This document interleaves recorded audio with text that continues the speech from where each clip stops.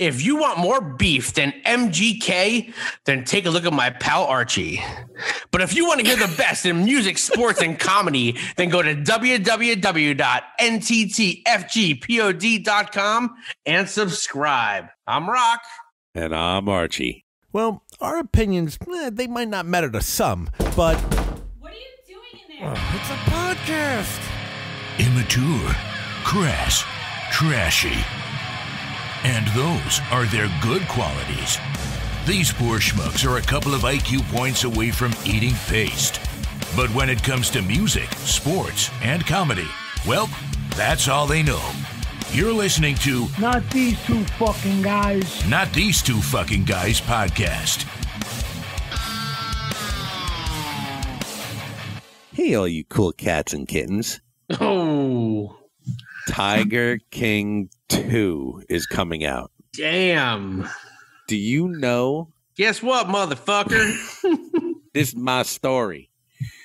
Tiger King 2 is coming out. Now, this motherfucker's in jail, and Tiger King, right? And Tiger Yeah. King 2 is coming out. So this had to Oh, be exotic. this had to be what? Footage before he went in, I'm assuming? I mean, who I- I knows? I, mean- don't, I don't know. It could be fucking. Did you hear about this yet? I just I, I read a blurb about it. I only I only read in blurbs these days. I can't read long format. You're a headline reader. That's it. I'm a fucking I, I'm clickbait's fucking wet dream. You're you're like, "Oh shit, we won in World War II." Great job, troops. Uh, well, I, I want to. I mean, I we, we fucking binged Tiger King, so Tiger King two, it's got to be binge worthy. I'm, I'm assuming. I'll You know, tell you what. The only way they fuck this up is if they do like. Re, like you just like whatever they play like whatever the hook is of the episode it gets replayed in each episode because they just need content to fill you know what i'm Yeah. saying like you know how they okay you said this already we get it you know like but I, i'm interested to see fucking carol baskin you're asking for a baskin Yo, but like, yo, so like when you think of Tiger King, you think of the first like two months of the pandemic here in the US because everybody was fucking watching it. It was like Yeah. a captive audience. Like everyone watched it. yeah What he's Yo, uh, uh, you- people were saying on the radio. The question was, if that documentary did not come out at that time, would it has would it have been that big? um, possibly not because because it, it probably wouldn't have gotten that many eyes on it, right? And that's all. That's all that anything needs to get is eyes on it. Right, Yeah. people interested in it. You know, everyone was home. What are you doing? What are you doing? I'm watching this thing called Tiger King. okay. And now, when you watch that, that being said, Joe Exotic is one of the craziest fucking real life characters you'll ever see ever. You want to know what? I don't think I've seen it, but there had to be a fucking SNL skit on that shit, right? Uh, I'm, I'm sure there was. Had to be. If I still watch SNL, then there probably was. Yes. yeah, but what, what, did, what did he say? He's like, uh, the fucking, that poor girl got her hand bit off. Oh, And yeah, she was like feeding the tiger, whatever it was, and like she and she was like cool with it. and they cut well, to it him happens. saying, It happens. I mean, I put the I put my hand in his mouth. "Yeah," and then you you hear uh, Joe Exotic saying, "I'm never going to financially recover from this." Jesus Christ! Poor got her hand bit off. Uh, you want to know what I took away from that fucking? He said he had a, a Prince Albert. what? Did he really? yeah. No, you want to know what I did take away from that? Like, you want to know what? All kidding aside, uh, like, but didn't some dude like blow his brains out like right in front of somebody else too? Yeah, His boyfriend, yeah. One of his, The his husband, his boyfriend. His goma, his his gombad, his gomad. oh my god! You remember the the the the the, the one quote? And I, I'm I'm trying to remember what it was. Joe Exotic was talking to this guy, asking him how straight he was, and he said, "All right, let me ask you a question. How straight, how straight are you? when how straight are you? When you watch porn, you like the guy with the little one giving it to her, or the guy with the big one giving it to her?" He goes, Huh? "Oh yeah, the guy with the big one." He goes, "Well, you ain't that straight then."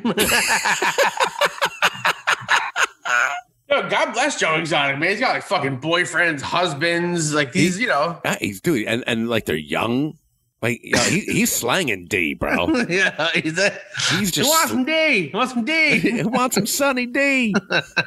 yeah, he's got he's got like that blonde bleach mullet, and and he's just slanging his Prince Albert around and just fucking. Yeah, you're infatuated with Prince Albert. I mean, Because, that, that's because why would somebody do that? Why would someone? Why would why would a, why would a man do that to his dick? Does that would hurt? It's weird. I agree. Ugh. And for people that don't know what a Prince Albert is out there, neither do I. no, you know who does that? Bitch, Carol Baskin. no. Anybody out there, if anybody wants to know, look it up, but don't do it at work. yeah. yo, what? Yo, what about his fucking country music videos? That's fucking great. I had to look up the band. I had to look up the band who did it. It was like it's like a real life band, and I think Oh they got my to, uh, like And some type like- of lawsuit with him and shit. That- eh, but you see him in the video, like singing it, like Well, how yeah, and I'm like, this Yeah. is no fucking way. it's so funny. His talking voice is, "Nah, yeah, nah." the guy singing is like, ah, ah, ah, yeah, okay, Joe, Yeah. same guy. I get it. Sure, Joseph. Sure. Senor Exotic.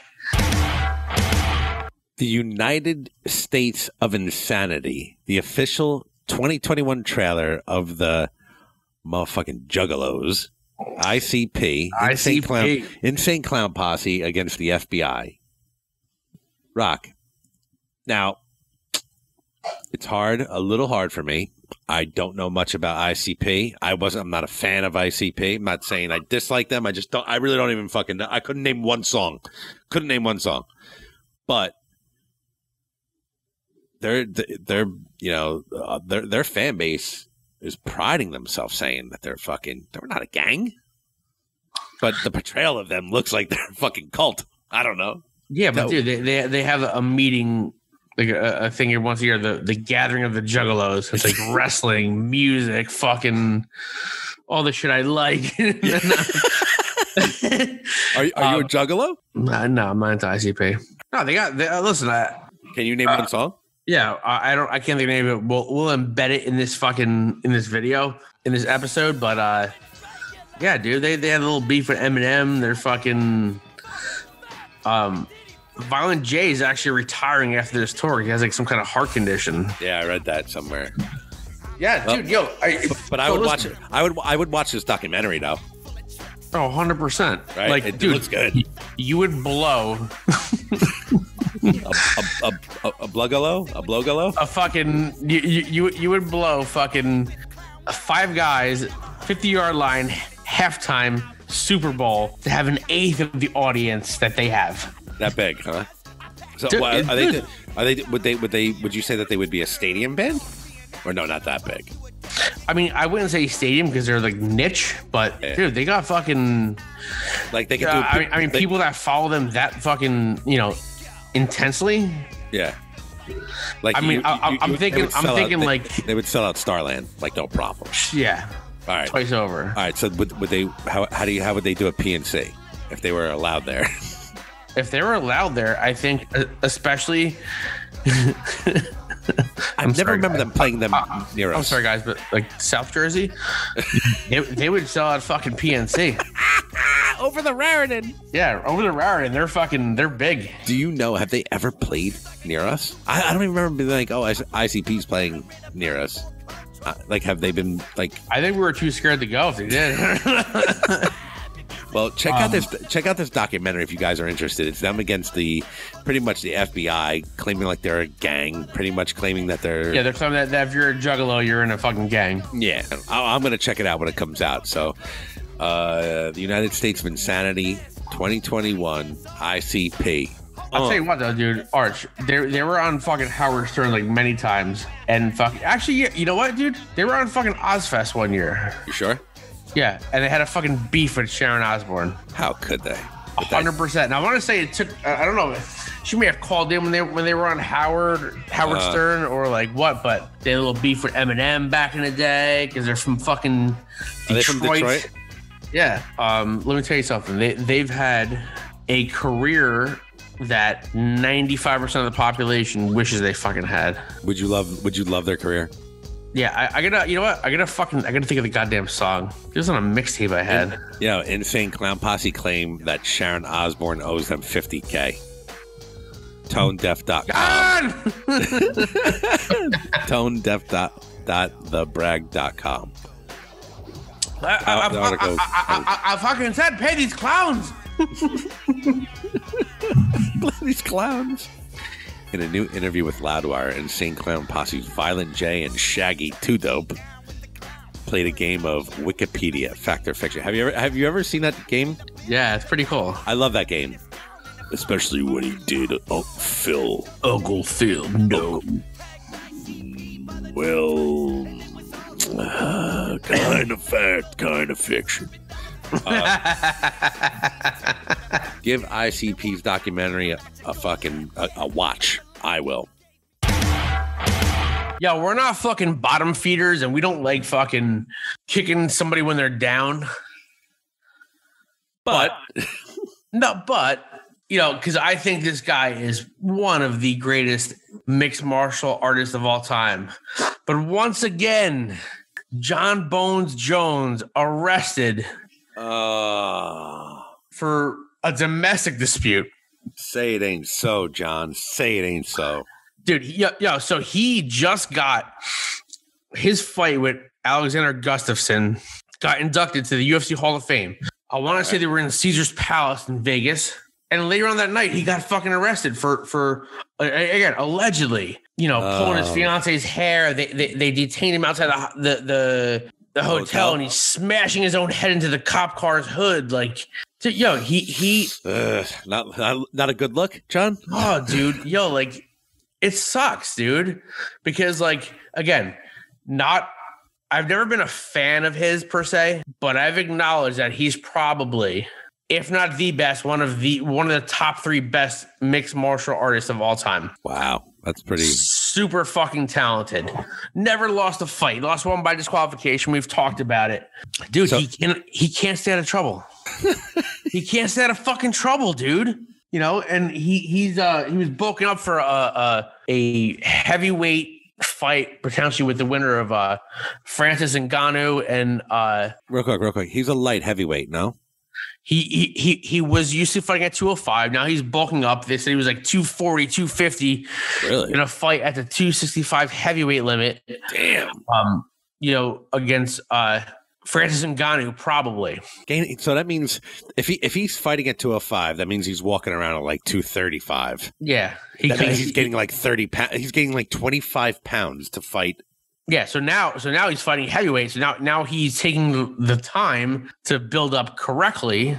And you know, a- a- and I saw pictures of him on like Instagram. And it's like a brick shit house. Jesus Christ. But like, you know, hi- hi- his arch rival Daniel Cormier, who he beat twice, you know, called this shit fucking four or five years ago. He's like, yeah, yeah, yeah, you're a man of God. You're you're gonna do the same thing. You're the same thing's gonna happen. yeah, yeah. And he he keeps on saying like, oh, listen, that was my past, this and that, blah blah, but keeps on repeating the behavior. It's like uncanny, and, and I I know Dana White is fucking fed up with him. You know, I Dana mean- White didn't want to pay didn't want to pay the money and set the precedent for him to fight Francis Ngannou for the heavyweight title because Jon Jones wanted too much money. And I personally think I thought before this, I know Jon, I know Jon Jones was gaining weight and building up and gonna come, you know, fight at heavyweight. To me, I thought he was never gonna fight in the UFC again before this because they weren't gonna pay the price that he wanted Yeah. and he wasn't going to concede. I don't, I don't think he was going to because I mean, not for nothing, the guy's nothing to prove, and then locked up again. And I don't want to fucking Uh, beat a dead horse, but I mean, dude, at this point, if you're in that much trouble, I mean, you got like you got to kind of want to be in trouble, like you know, where, do you, where do you foresee something like this happening and and like him fighting? Where do you foresee him fighting now? um, Still keep know. business I- as I just- usual? yeah, I, I, I don't. To me, I don't. I don't. To me, I don't see him fighting in the UFC again. I can see maybe maybe then giving a buyout, letting his contract expire, whatever they have. But I just think that he, he he's not. I don't know. He's not. He's not reliable. You book him for a fight, you get a problem because he's getting like locked up. You know, I I- I saw a meme. He won like fucking. I mean, he he's had allegedly in the past like run-ins with the law, run, you know, uh, drug violations. Now it's domestic violence. Like it, it just seems like Awesome tweets. yeah, I can't wait. Is it so uh title challenger, um welterweight. Uh, Colby Covington said Jon Jones should be in the MMA scumbag Hall of Fame. Oh man. I was waiting. I, I was waiting to hear because we, we had talked in the past about like him and Chael Sonnen going back and forth and like with tweets. But um, I, I honestly, dude, if, if this is the case again, part of me feels bad for the guy. You know, because he's a smart guy, but like he he he can't he can't unfuck himself. Uh, when I tell you, dude, I'm. I'm- look, look, look. I'm reading a tweet, right? This was 20, this is 10 minutes ago. At Johnny Bones. Won't do it again. Trust him. Wife beater. You are very lucky she's not my family. Oh yeah, like you're gonna go out and kick Jon Jones' ass. yeah, dope.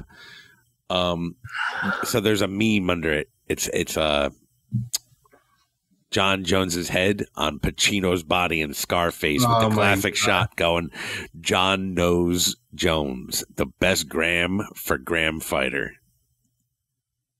Yeah. best gram for gram fighter. Yeah, people aren't happy with him. Well, huh? I mean, he he brought it on himself. They were saying you know, he, he has uh, almost as many uh, arrests and championship victories. I always say, and we've said this in this podcast before, like whether it be the musician and how they feel, or their politics, and the athlete, and what they do outside the outside their their genre, their arena. You separate the athlete, you separate the person from their personal life. You know, the more I think about it, so my top three greatest mixed martial artists of all time have been Go. Jon Jones, Jon Jones, Anderson Silva, Anderson Silva. George St. Pierre. Oh, I, I thought Chuck would be in the top three. Nah, listen, I, Chuck's my favorite of all time, but I, I mean, we have to be we have to be honest here. Chuck's my favorite of all time, but the top three. Yeah. and, and- and I gotta say, like, you know, Jones to me, and again, I've never been the president of the Jones fan club, has always been the greatest of all time because he he lost disqualification, but he never lost. I don't know, man. Sometimes the outside of the uh, you know the per the, the personal life kind of like bleeds through, right? Anderson Silva's been winning some boxing matches now. Like he might be the Anderson Silva might, might be the greatest combat sport athlete of all time. But the problem is, is when this happens so many times, you lose your benefit of the doubt. I feel bad for the guy. I feel bad for his wife. I feel bad for his family. You know, and how many times you say this, but you hope he gets his his shit back on track. But I don't know. He's Well- shown no signs of, of of doing so. we we hope the best for you, Mister uh, Jon Jones. Get back on track, bro. Get out there and kick some ass. Yo, Whew. Fire in the hole tonight. Yo, let's talk about this. As he would say in his song against Eminem, your beard is weird. Let's talk about it. yeah. Machine Gun Kelly. oh, that's Getting a lot of fucking heat these days, bro. Yo, MGK. He's getting, he's getting, he's up against the ropes right now, and he's fucking, he's getting him to the body. Rope a dope. Crazy. so he had that whole little skirmish with Conor McGregor, right? And then so I, I let's let's recap to that, right? Remember, we're like uh, Conor wanted a picture, this and that. MTV Music there was a conspiracy theory going on that Conor McGregor may have been uh, may have had a, had a little of a grandpa's uh, too much of grandpa's old cough medicine, his own Okay. proper number twelve. Uh-huh. And thought that MGK was Jake Paul, and that's why he went after him. And if that's the case, that is the funniest shit I've heard all fucking year. Where'd you hear that? Did you actually hear that? Or you, I read, yeah, I read it, dude. It has to be true. It was, on interwebs. if that if that was the answer, if that was the the fucking story, like like if there was ever video footage of somebody just going, you know, that wasn't Jake Paul, right? And like his face after that, fuck, it, that would be the best fucking story ever. Like, I don't know who, who Machine Gun Kelly is. Anyway, Conor had beef with Machine Gun Kelly. Then on fucking one of these festivals, Machine Gun Kelly and his uh, pop punk regalia is uh, playing a stage, and Slipknot's playing another stage adjacent. And this motherfucker, I like Machine Gun Kelly. He talks shit about Slipknot, saying 50 year olds wearing masks. It hit too close to home for me. Did, is he fucking with CMFT? Oh my god. CMFT is the least of his worries in Slipknot. He needs to worry about like big motherfuckers like Mick Thompson. yeah, seriously. Yo, did you see the, the the the one meme? So it's a picture of Slipknot all in a circle, like the photographer's obviously on the ground taking a picture up. it was like the last thing that machine gun Kelly sees. That's great. And then the beef was, I don't know, he, he got pissed they were playing the same as him. And then Machine Gun Kelly said, Well, you know, Corey Taylor was supposed to be on my my solo album, but you know, he got cut out of it, and that's why he's pissed off. So Corey Taylor published emails he wrote to Travis Barker, who's Yeah, that's right. Yeah. MGK's drummer, and was like, "Hey, dude, listen, cool project, blah blah blah." I, I you know, because they wanted to change his verse a little bit, and he's like, I, "I don't think I'm the guy for the job. You know, good luck. You know, I That- could help yep. you. We, you know, find somebody, but good luck." And and, Mm-hmm. and Corey Taylor posed that, and then like, okay, and then fucking uh from Trivium, Matthew Heafy He's like, yeah, in. yo, you want to go after the knot? yeah, yo, you don't fuck with the knot. You don't fuck with the knot. Trivium is stepping up into the game. So basically, and then I saw fucking memes of country people saying, "All right, well, he tried rap and he tried rock. Don't let him fucking try country." oh my god! You know, you know that's actually a funny type of, of saying when I when I get to a sixty nine year old smoker cough laugh. I only smoke cigarettes, but if fucking yo, like I need to hey, see. he's uh. did, actually, did you see a meme like that? Send that to me if you fucking if you find it. I'll, I'll, I'll find it. We'll post That it. that that makes me feel happy.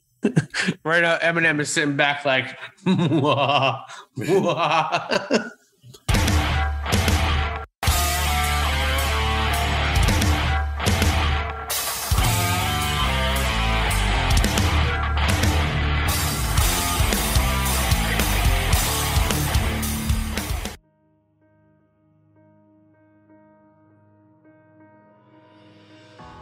Rocco, What's up, pal? hey man, tonight we have a set of pipes on the show, bro. She is a singer, songwriter, artist, and a badass front woman for the Los Angeles band Edge of Paradise, where is exactly I tell my wife we're going when we go on the vacation to the Jersey Shore. Welcome to Not These Two Fucking Guys podcast, the beautiful and very talented Margarita Monet. What's up? Hey guys, thank you so much for having me. Um, I'm doing good. So Good. Well, I want to be the first to apologize and say, for myself, I don't understand how your band fell under the radar for me. I had to take Howard to tweet to, to, to post that he was working on your latest and greatest album. To, and I found out about you guys, and I was like, Rocco, you got to check them out. Like, they're so dope. And oh man, we have to get right into it. I mean, I gave I gave uh, I, uh Margarita. I gave Archie a stern talking to because he's my guy to find music for me. Oh, My attention span's too short. He finds it for me. He's like, "Yo, you listen to this," and I said, after he told me about you, I'm like, "Arch, you, why didn't you telling me about me this before?" yeah, Archie. I- Why? you asshole. you know, you know what? Even Derek Jeter has struck out before. um, all right, so we got to get right into this, and uh, Rocco and I have to find out, and we want to let our listeners know all about your band, and and you guys aren't rookies either. You've been around for for for quite some time, but we're gonna get right into it. The unknown. I have so many questions about the unknown. well, I love to talk about it. good, good. Um, all right. First off, it's big. It's powerful. It's you know I love the write up. There's like a like a like an about section I think on Spotify or something I read. It's like you know music that is just from another planet. You know music that's just you know. Uh, this album, eh, first off, you're, you're, you Howard Benson, Mike Plotnikoff, I think it is. Is that Pl- Plotnikoff? Yes. And oh, I fucking forget his name from Three Days Nick- Grace. What's his name? Neil Sanderson. That's it. That's it. I, I forget. How did you team up with those guys to to to record this album? you know, in our life, the life of the band, everything sort of happens by chance. Dave, who's the guitar player, and I Mhm. started it 10 years ago. And we really started from nothing. And then one thing sort of led to another. So, Mike, we found Mike through a mutual friend, Terry. He has a studio. So, it was a long time ago. We were recording an EP. and we needed someone to mix a song. So he, he introduced us to Mike. And then from then, like we really got along with Mike, and Mike ended up producing our last album, Universe. And then uh, Universe, we got signed to Frontiers Records. Then Uh-huh. we went on tour to Europe. We came back, and we knew we had something. We were going to tour with Hammerfall, and we knew we had some months in between. So we were like, "Hey, Mike, we have a song. We want to record it." so, Uh-huh. and he was he was time working with Three Days Grace, and he was like, "Hey, Neil is on Zoom. Like, would you mind if he's part of the session?" And we're like, "Yeah, of course. Why not?" And we just got along with Neil, and uh, Neil was a really interesting addition to the team because he he brings like a different. Um, side of uh, sort of recording because like we are very sort of complex band and neil likes simplicity and that really worked when we started working together we found that perfect Okay. balance i think how we got introduced and then howard works i mean howard and mike have been you know working together for years and years and Yeah. with neil as well and since neil and howard has have the new judge and jury records. Like that's how howard came into the mix and he he heard our songs and took interest in the band. And i ended up recording a lot of it with howard and he just became part of the team. So yeah that's kind of how it all fell together. And then we have jacob hansen in denmark. He mixes our songs. He's been mixing our music for the last two albums. So we ship everything to denmark. Oh and he God. brings it to life Oh, that's so awesome. Now you're you're in you're in LA now currently though. yes Mhm. Okay, cool, cool. Weather still good out there this time yeah of year. it's so too sunny It, must have been so cool to record with those guys just because of the musical knowledge and what they could bring to the table. Um, so I like I like I said before we started, I found you guys um, through Howard, and we had Howard on as a past guest, and I had him on for I think a little over an hour, and I didn't even skim the surface of the stories with Papa Roach, the POD, to Flyleaf, to to all these bands. What did you guys take away with working with such a prestigious producer? Well, for me personally, Howard really, I think he brought another side of my voice. and like the edge, I don't think I had before. Um, I think I was falling into I over, over the years I sort of developed this style where um, I use a lot of because my voice uh, is maybe a little softer sometimes, but I also like it's easy for me to sing up there, and I kind of had that thing where I would sing softer when I sing lower, and then when I'm up there, I'm like really powerful. And Howard sort of brought up brought out more power out of my voice every you know along the whole range Yeah, and uh, more of attitude in the songs. And then, uh, you know, it was interesting because they really let us let our music, like what we already have, like they didn't change much, which was really cool because going into this, we did want to, you know, have more of a mainstream sound. But they did recognize the unique side of the band as well. So they really Mm. just helped us package it in the right way so it's accessible enough, but it doesn't take away that thing that makes us like edge of paradise, yeah, which we want to keep because we always strive to have that. You know, when pe- people hear our songs, they can say, "Oh, that's Edge of Paradise" or something. yeah. You know what I mean? Oh yeah, I'm oh yeah. yeah, we're lucky that they re- really recognize that and just help us develop that into the sound, the mainstream sound we want. And I think that that's the mark of a, of a great producer is to take what you do, right, and almost like crank up the intensity on it and take it to the next level. It's not it's not to change what you do, because what's the point of that? It's it's to make it what you do and accentuate it. And I think that's that's what it sounds like to me. I was just gonna say that you're right. I heard the greatest word there, invisible. so the um, you know, the you so like because other all the bands would sound the same, right? Because so many producers work with so many bands. Right on.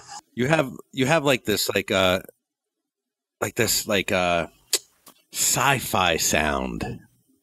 You know? Like I don't know if that's like if I'm if I'm explaining myself correctly, but like it has this like uh theatrical uh classical sci-fi sound mixed with metal. I hear like bands like uh I mean, I, I I don't know. I'd love to get into your, your influences from your from you and you and your bandmates, but like I hear Nightwish, I hear um, uh, uh we. Uh, it's funny. We we had this. Uh, I don't know if you know who they are. Uh, we had uh, a singer by the name. Her name is Lena Scissorhands. She's from a band called Infected Rain.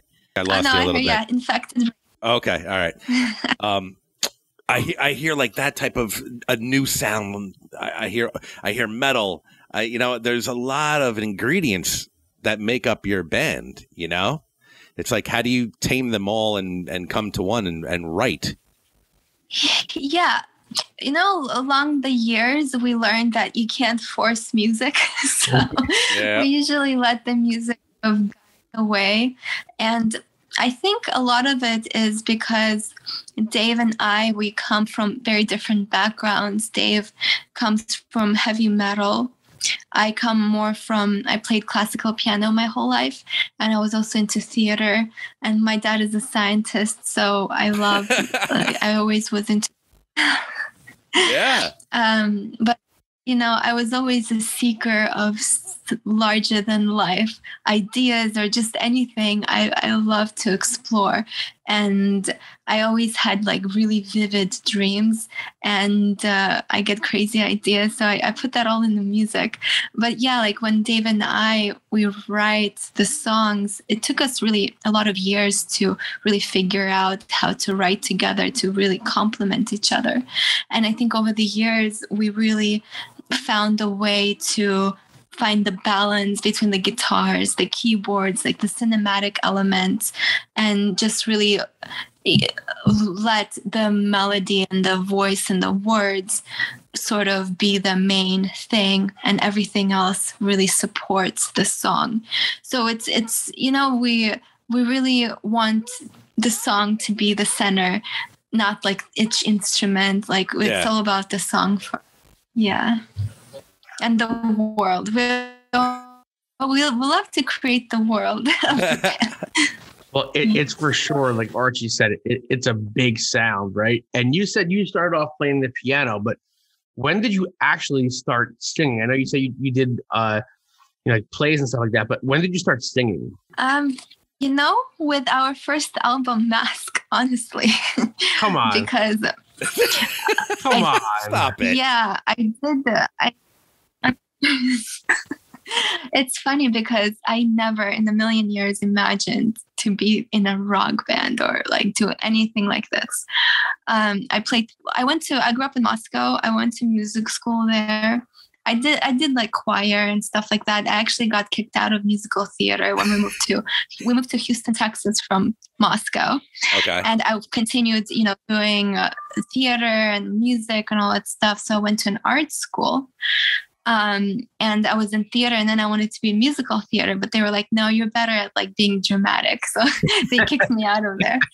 So nobody, I love it. yeah. Okay. All right. So yeah, I went to New York. I went to New York. I studied piano, theater, and I took some astronomy courses at NYU. Then I moved to Los Angeles, and that's when I met Dave. And Dave had a band with Robin McAuley, Greg Bissonette, and Tony Franklin. He had like 80s super group. Um, and then all those guys went on tour, like Robin went on tour with Survivor. Greg went on tour with the Ringo Starr. So like all those guys, you know, went their separate ways. Mm. And Dave, you know, he wanted to create a new band. And, you know, it takes a lot of work to make a new band rise Yeah. up. Like, yeah, like nothing takes so much work. And um, of course, if nobody really dedicates the whole, you know, their time and energy and it's not going to really go anywhere. So when Dave and I similar create something and take it as far as we could go, and it, it ended up being like, I don't know, learn how to sing, I guess, and especially this type of genre. So Mask it was really the first time I became a singer. And then we recorded our second album, Immortal Waltz, and we went to Michael Wagner. Michael Wagner did like Metallica and Ozzy, and we went to Nashville to record with him. And I think that's what really sparked that fire in me. And I was like, yeah, I really want to do this because just his love for music. And I don't know, I was just like so fascinated by this whole um, idea of creating music and creating this band. And from then on, we just like we never looked back. So that's a little story. Jeez. That's insane. Uh, I, I mean, like, so like to start singing at your first, you know, your uh, first album and to have that kind of range is absolutely an anomaly in the music business. So like, I, I mean, did you surprise yourself? Like, wow, I, I can, I can, I can do this. you know, I would I was surprised by how other people were surprised because everything was new to me. And all I know is like, I can tell if something sounds good or bad because, like, you know, I am a musician, so I can definitely tell. But I always had the mindset that whatever I heard in my head, like if I'm writing a song and I hear that melody, like I'm like, no matter what, I got to figure out how to do it. So having that mindset that I don't have any limits, that I just have to figure out how to do it, I think that helped me maybe push myself a little more. Like my voice evolved over the years. So I never, I didn't like start out like how I sing now, of course. Um, it was a really long evolution for me, and I hope to keep evolving. And like with this album, I feel like I became a better singer than from the last album. So it's a never ending process for me. But I think really having that mindset where it's just about the song and about the emotion and just doing what the music needs. And I'm like a tool that I have to make this happen. I think that really helped me. So, So. you, all right, you know how you said uh, just before you were like, you know, I, I had never thought in a million years I would be in a rock band. yeah. So now you are. Is this Yeah, yeah. something that now you you have been? Is this something that's like, yeah, it's cool, it's all right, or this is like you you- like? Did you fall into this and just say like, oh my god, this is what I needed? Like this is what I have always. I, maybe I didn't know, but this is what I should be. Yeah. Yeah, I think I was like, I was so lost. You know, in many ways, like Dave almost saved me because I think, yeah, I was really lost because I kind of knew what I wanted. Like, I, I always wanted to create. I loved music, I was always in music. Um, I love art. So being in this band and like creating this world and like I do a lot of art for this band too and you know I love performing. Um it's really my identity now like I cannot imagine doing anything else. And like some people ask me like what is your next project? Or what, what are your other projects? I'm like this is like my life. Like I have there's no it's I have for something else like what are you guys talking about so yeah like Why don't you leave me the fuck alone? This is my life. yeah That's awesome. Oh man, I uh, how how much input? Now I just want to go back to this record because I think this record's fucking huge. Uh, how much input in writing did like Mike and Howard have? Like, would, would, would was there any type of like? I don't like the way that sounds. I, I think you you could you know improve here or or change this. This could be a chorus. This could be a you know what I'm saying. How, how much input did they Yeah. have? Yeah. So uh, Howard kind of came in. The album was pretty much done. So with Howard, I mostly re-recorded vocal performance, and he kind of likes it that way sometimes. Um, because then we can really focus on the words. I mean- on the vocals. Mhm. Um, but you know, like from here on, now that he is involved, I think uh, like I'm looking forward to um, you know, having him being involved from the very beginning Yeah. of, you know, the songs. Uh, with Mike and Neil, um, it was a combination. Like most of the time, Dave and I already have a song and we kind of bring them the demo and then I go in and I record the vocals. And that's when we have like the solid idea of what the song is. And like Neil had a lot of input with like, simplifying some stuff because I think I like I like big words. I love to really be descriptive and sometimes maybe it takes away from the power. So he really kind of opened my mind to how I can maybe phrase things that are not as complex but still keep the same idea. So the power really Smart. comes Very through. smart. There's a lot yeah there was a lot of things like yeah maybe change this word or maybe take away this. Let's simplify this sentence. So stuff stuff like that. Uh, I, I do have to say like the unknown which is the title track was the song where i'm like i'm not changing a thing.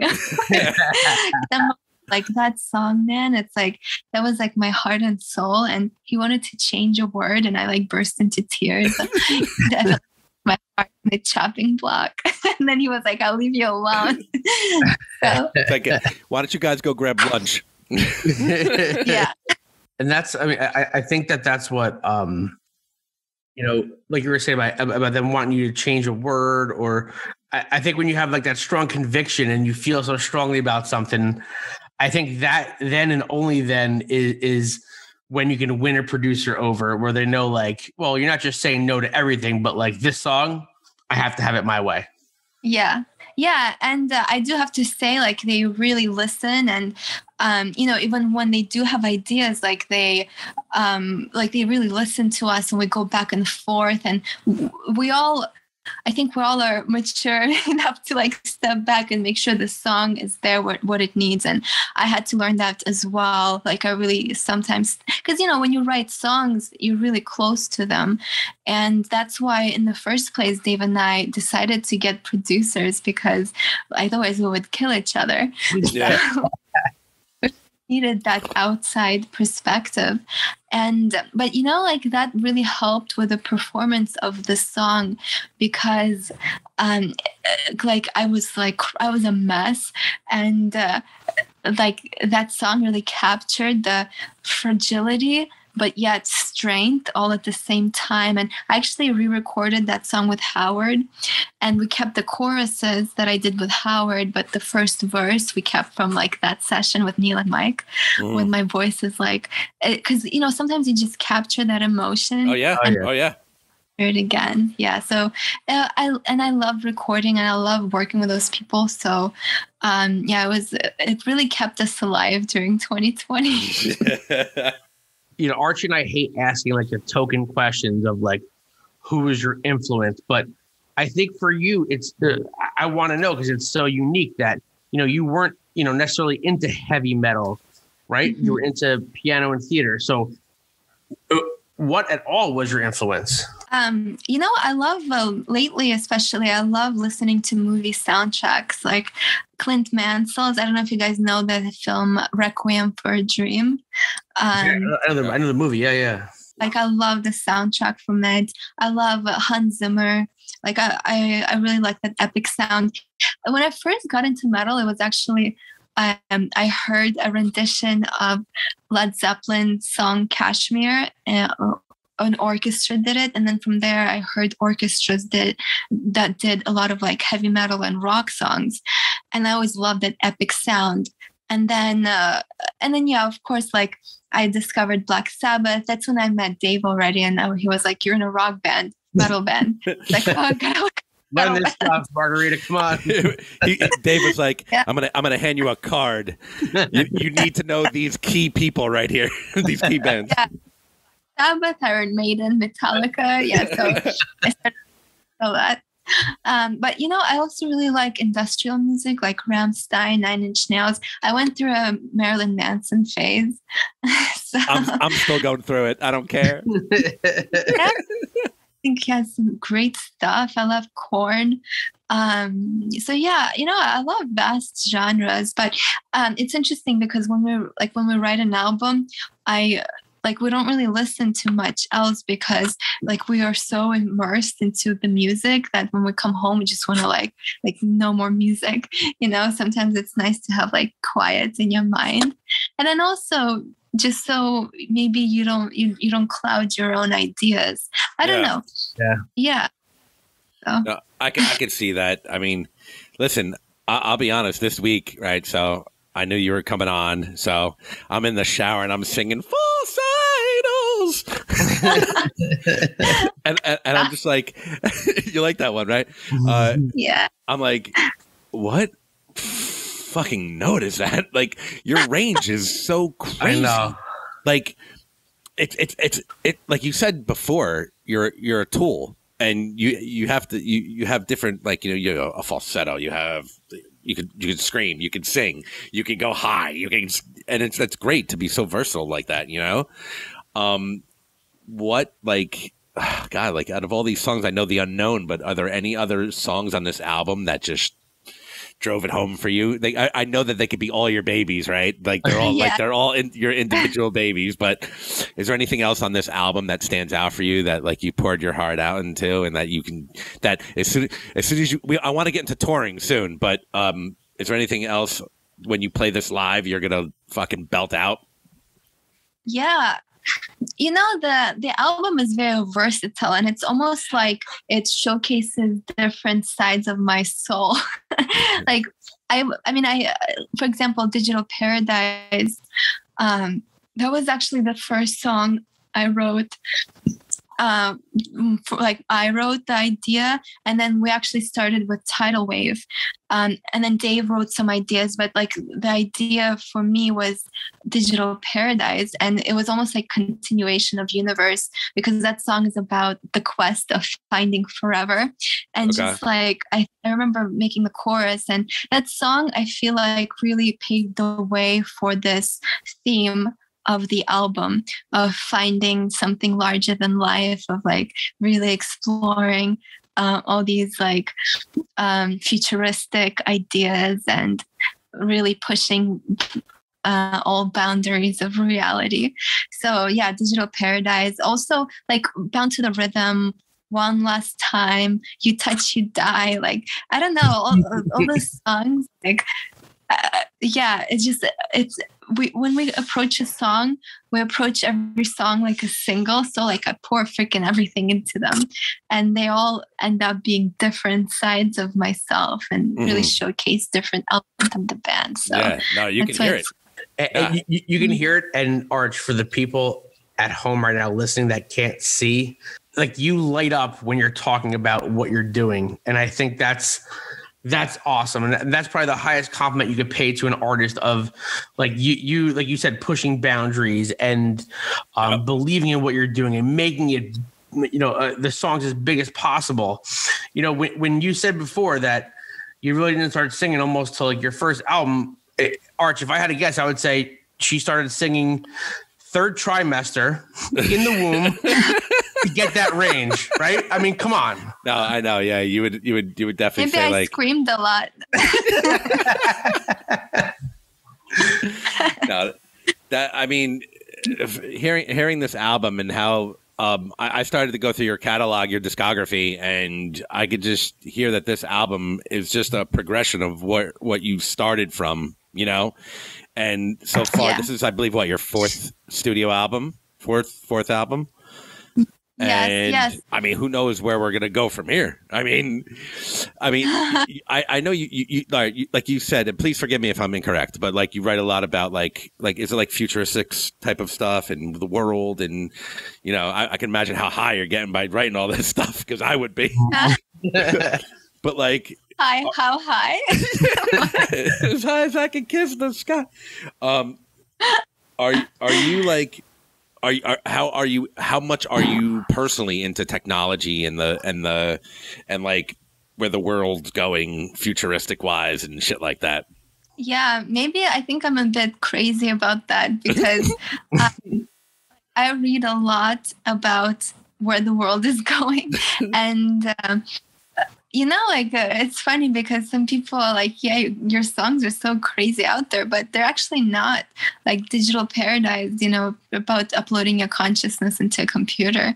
There's Yeah. so much research going on right now. Like Yeah, people yeah. are slicing brains like scanning them you know they're mapping brains of flies like it's it's really happening and the question is whether it's you know what is consciousness whether your soul could live on through some digital space or is Wow. it just a digital copy ourselves. Also like rise of artificial intelligence whether ai is going to exterminate humans you know? So it's like i love talking about this stuff. And also i love thinking that there's more to reality than we know because i think having an open mind is a doorway to our future. Because if you Mm. show an iphone to someone 500 years ago you know they would be mind blown.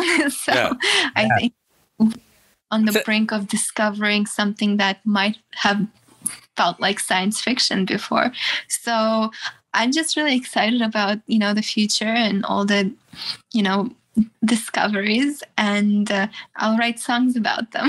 so, Yeah, Art, Art she, she's not telling you a conspiracy theory. Her songs are a spoiler alert. What's gonna happen? yeah, I mean, I think I no, honestly, I think that's like a really interesting take. You want to know why? Because like out the box, you can write about like you know love and heartbreak and you know and the usual, which is cool, you know. But like this is an interesting. It's all right. It's weird where I my background. I'm more of like music than lyrics. My wife is more lyrics than music. You know, Rocky's a singer. He's he's he's. I'm a guitar player. So when I when I don't I, I hear melody before I hear l- lyrics. When some people hear, you know, like Me the meaning. uh, some people Yeah. hear the the meaning of they they know the meaning of the song before they can maybe hum the chorus. You know, Yeah. Mhm. but um, I, I just think it's an inter- interesting take as a singer and a, and a lyricist how you could write about that type, taking that angle. You know, Yeah. Yeah. And you know, like some songs are love songs in a way, even though they are set in this sci- sci-fi world. true, true, but yes, like all the songs, they are um, very emotional and very, you know, human.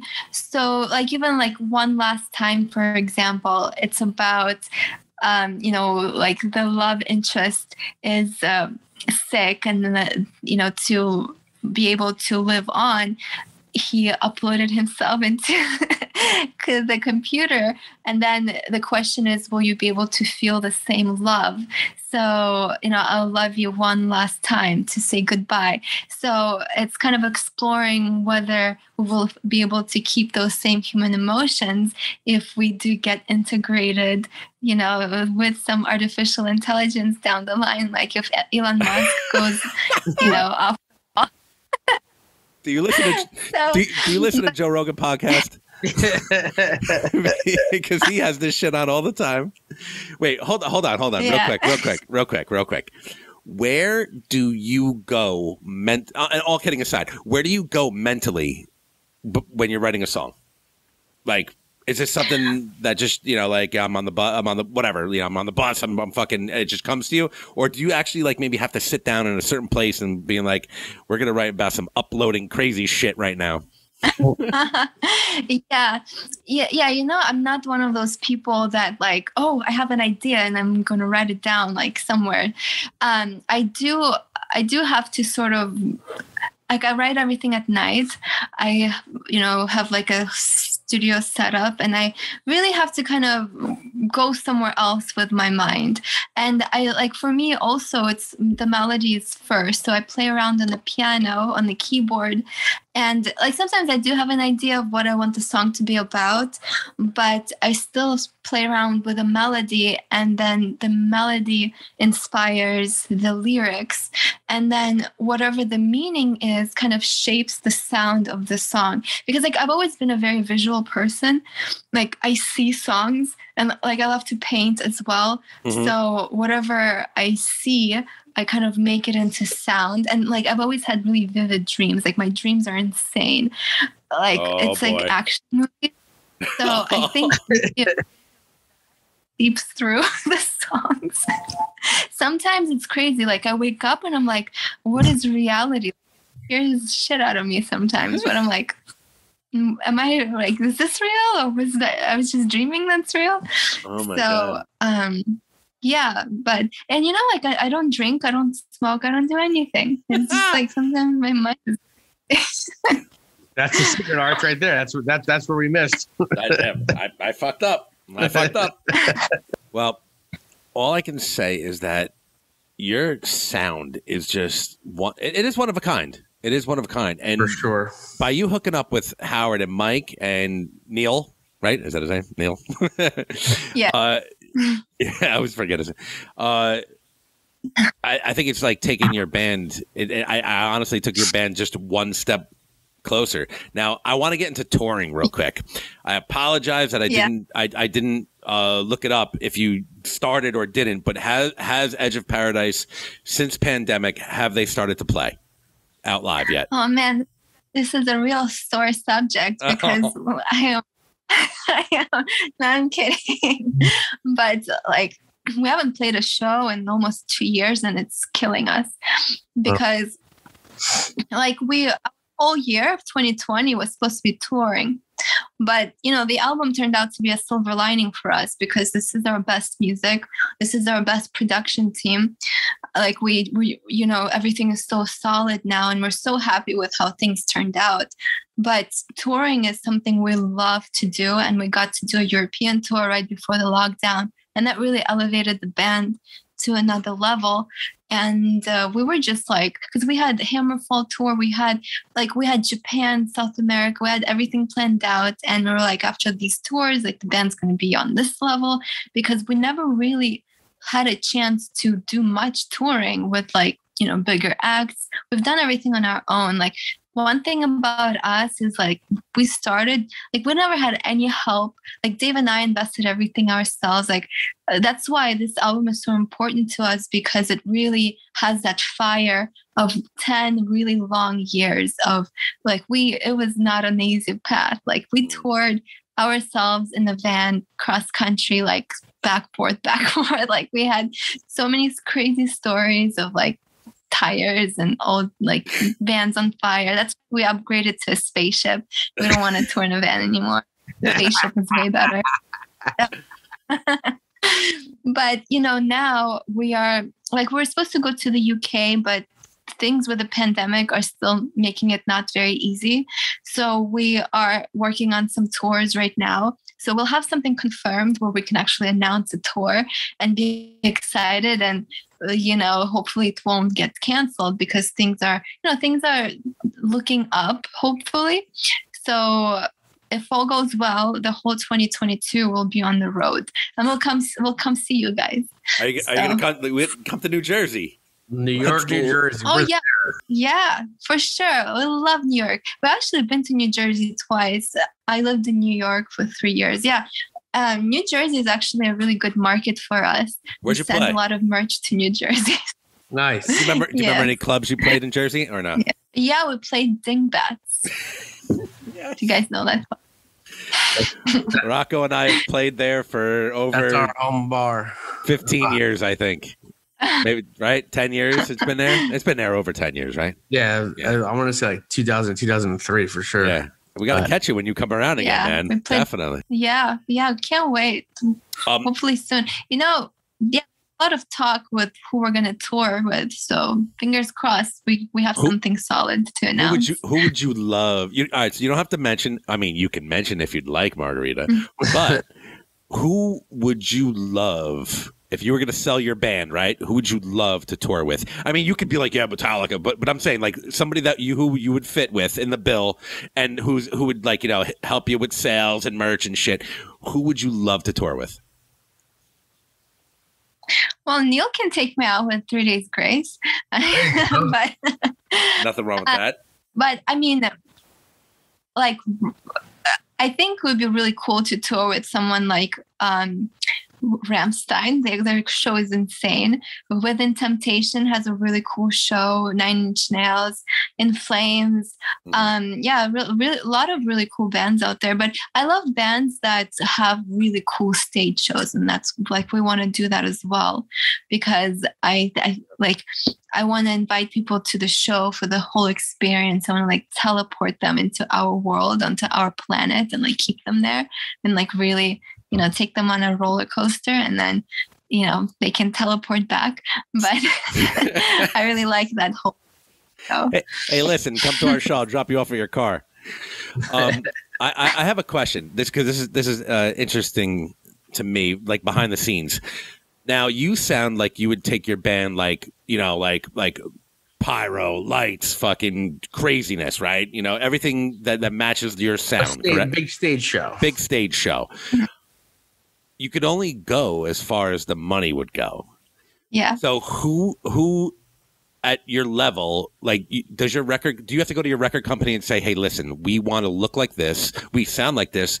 Um, can you please give us more money because we need our show?" Or do you have to work yourself? How does that go for a band? Well, honestly, we and actually like Dave and I kind of pride ourselves with that. Like we we haven't really taken much money from record companies. Like we do have Frontiers and they do give us an advance, but um, we always invest into ourselves just because first of all you know we want to make sure the content is there so for example if from you know we get that much money and the content that we want to create takes more we would invest in it and we do see the return because you know i'm a big believer whatever you put out there and it's there forever you know that's what really defines you. So we and we always find the ways. I don't know how everything we've done it seemed that impossible at the time. Like we went to iceland to film a video before. Like i don't like how could have we done that? But you know this souls of rock company they found the band and they helped sponsor it. So there's there's always a way and like now we have really supportive fans like we do well with merch so we're able to invest more into videos and content. And like i also do a lot of art like i, I do a lot of it myself. Like i learned how to edit videos like to cut the cost i learned how to do a lot of it myself but to make sure that Uh, it's at the right level. So like for example with show, shows there's a lot of ways to recreate the epicness but like things are there's ways to make it cheaper like with LED screens for example. Like you can just create a world put LEDs would kind of have similar effect than having you know a lot of props that would be so much harder to carry.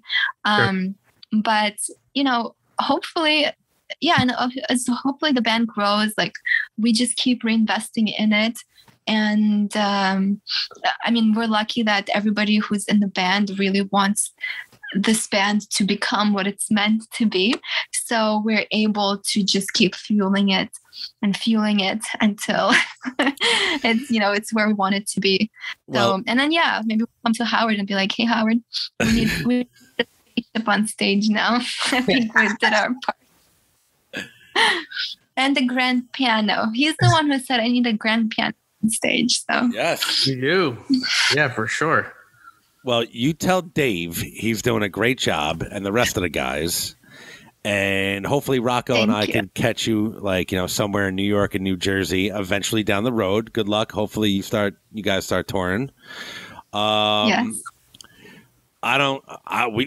I'm gonna tell you right now. I want to. I want to get you back on for the next album because I want to see where this band's gonna go from here. Like I'm really inquisitive, and I'd love to see this. You know, um, thank You. where where could people find you?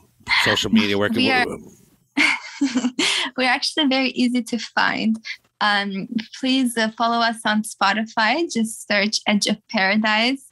We also have a really crazy merch store, edgeofparadisestore.com. A lot of the items I handmade them myself.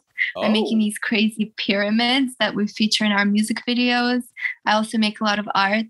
Um, I'm probably going to release a lyric and art book where there's a painting for each song on the album with a story behind it.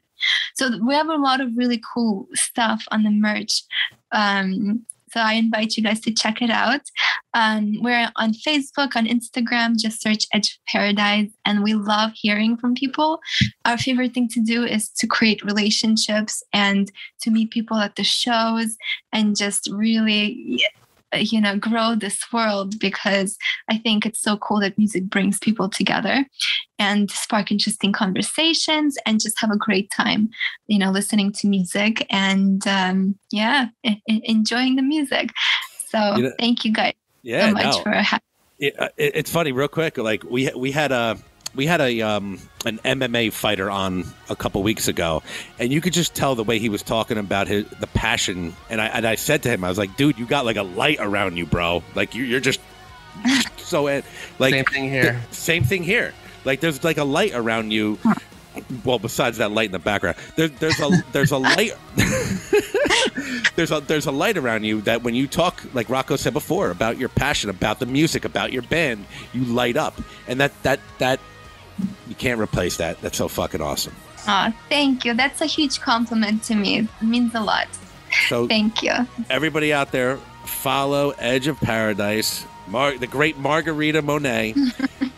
Their album, The Unknown, is out now. By uh, produced by Mike Plot- Plotnikoff and Howard Benson and Neil from Three Days Grace. Everybody, go get it. Thank you so much for for for coming on. We appreciate it. Thank you. Thank you guys so much. We can't wait to talk to you soon.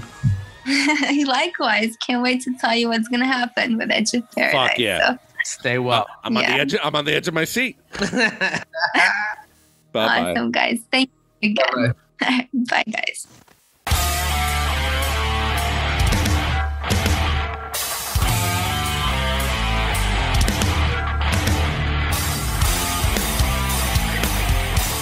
Ladies and gentlemen, that was the great Margarita Monet from the band Edge of Paradise.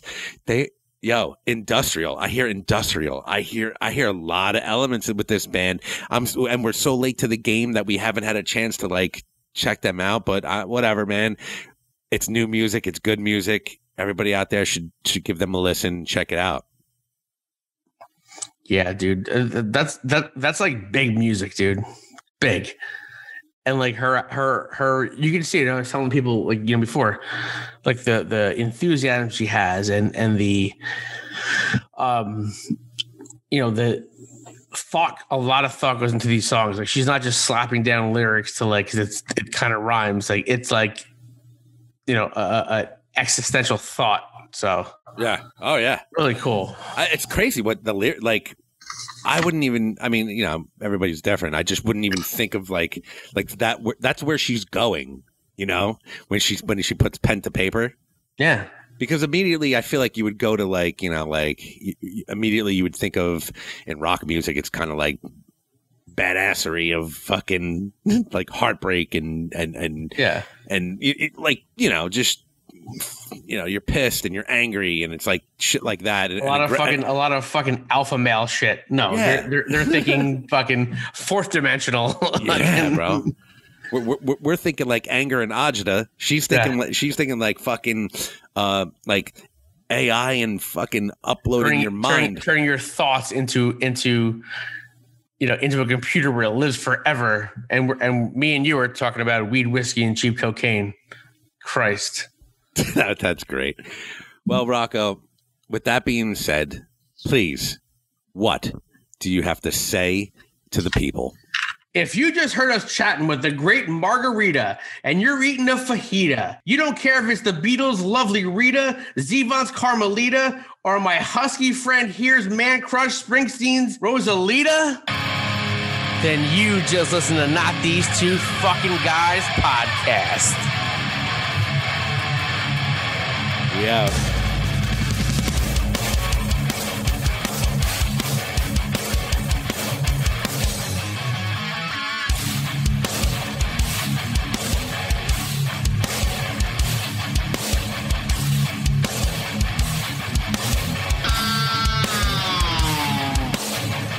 He's to worry about like fucking like, uh, God damn it.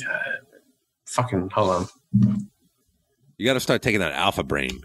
Okay. Anything Joe Rogan says is, is gospel. I get it. No reason why you got to get out of breath saying that sentence.